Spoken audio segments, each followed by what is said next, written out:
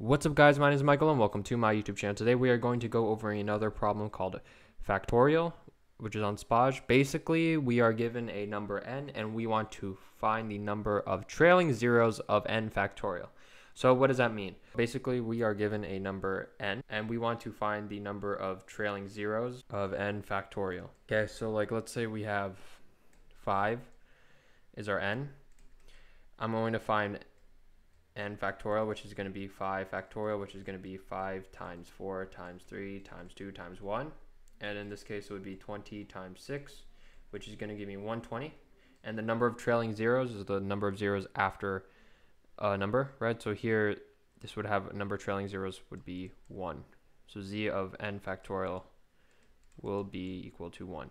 And the reason why z of n factorial is equal to 1 is because this has a last trailing zero of uh, 0.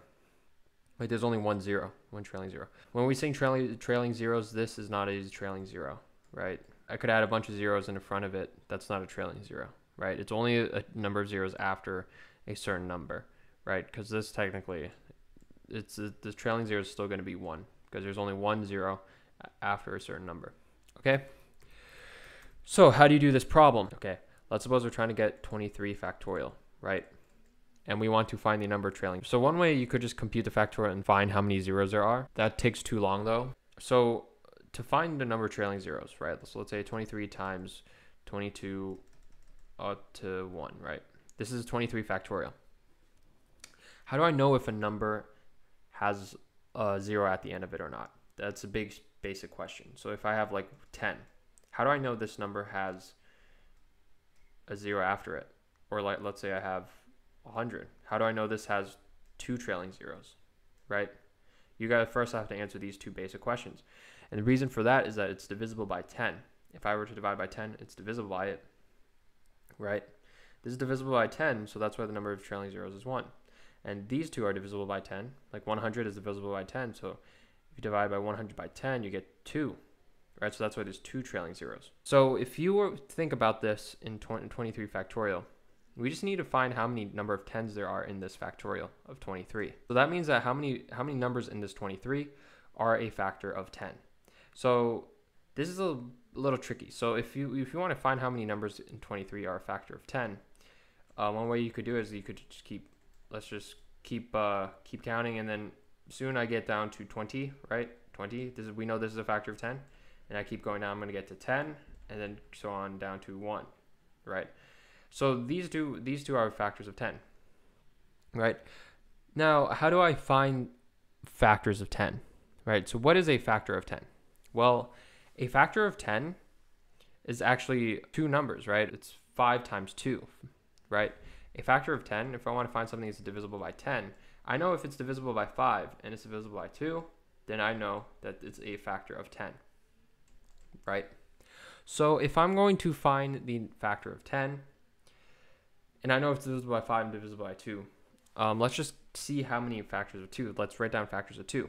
So let, us go back and write down factors of 2. Like, so let's say I have 2, 4, 6, 8, 10, 12, 14, 16, 18, 20, right? Let's say these are factors of 2, right?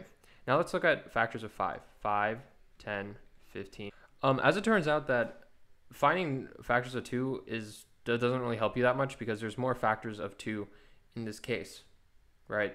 Um, every two numbers in a factor of two, uh, that doesn't help you to see if it's a factor of 10 or not, right? Because like if you look at this, like four, that doesn't necessarily mean it's a factor of 10. Six doesn't necessarily mean, eight doesn't necessarily mean, 10 does, right? 10 does.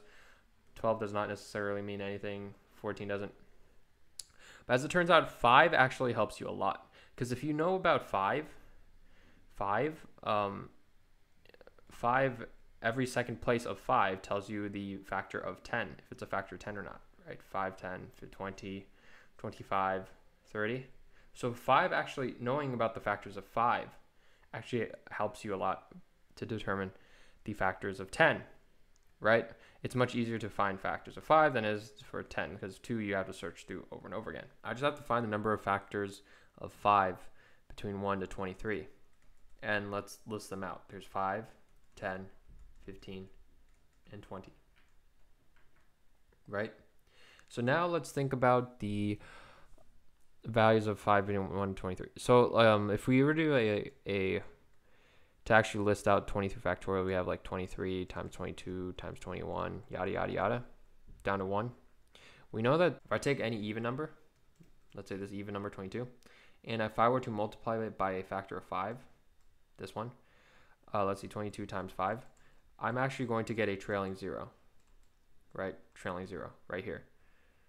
And that's because any even number multiplied by a factor of 5 is going to give me a it's going to give me a number with trailing zeros. So technically all we just have to do is just count the number of multiples of fa uh, factors of 5 between 1 to 23 and that'll just be our answer because these this 5 is going to get paired with like an even number for 23 factorial and that'll, that'll give us a number that's uh, divisible by 10 right and also this 15 is going to get paired with another even number, and that's going to give us a number that's divisible by 10 also, right?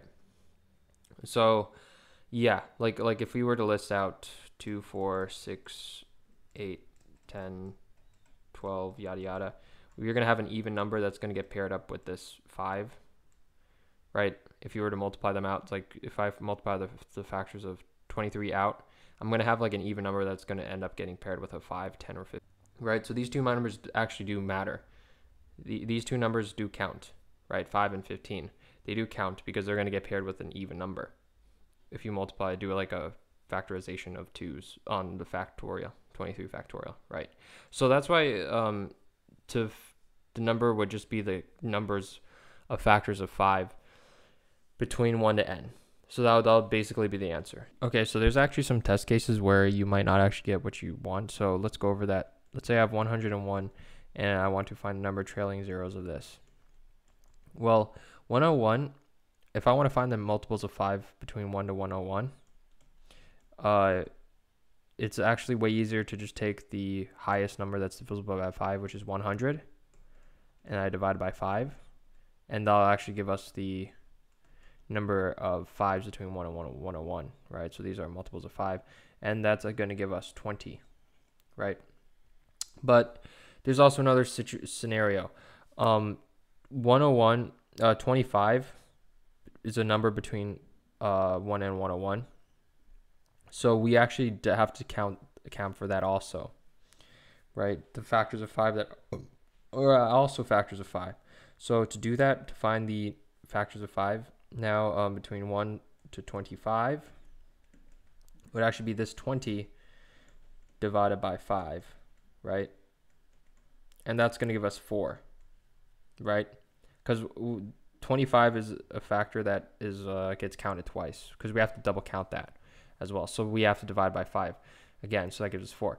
So if we add all these up, we would get 20 plus 4 to equal 24, right?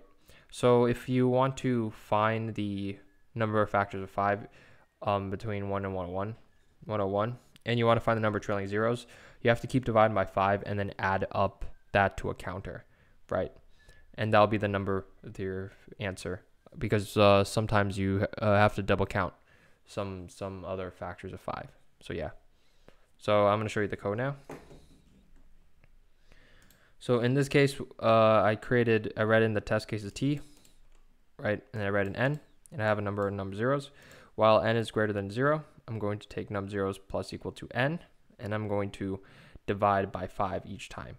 So then after the n, I'm going to cout num this. You have to divide five first and then add it. Yeah.